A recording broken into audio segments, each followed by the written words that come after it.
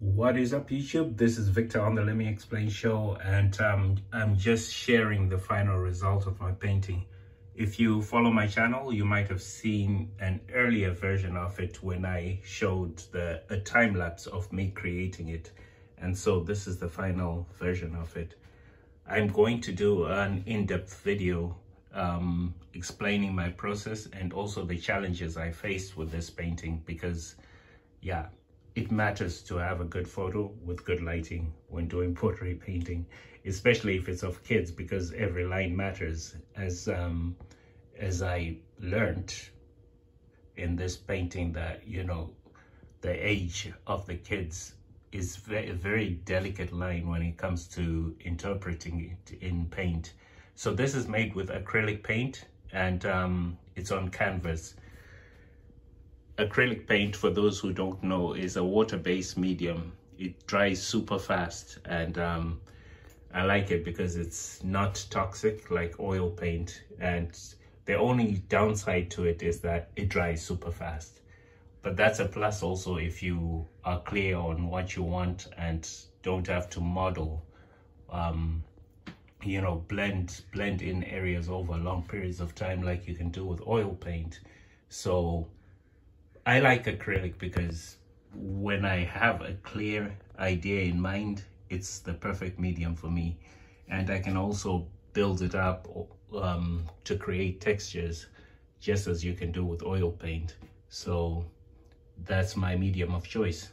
And so this is the final piece. I'm not gonna work on it anymore. It's already taken a lot out of me.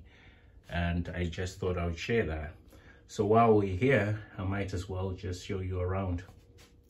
So this is a piece I did earlier on. I've never done a mushroom in my life and I just thought I'd do one on the suggestion of a friend. Um, I think I might explore this theme a little more using the shape of a mushroom in my abstract paintings. And over here, we have one that's uh, been with me for some time. I think I did this in 2017. No, this is actually a 20, 2019 painting.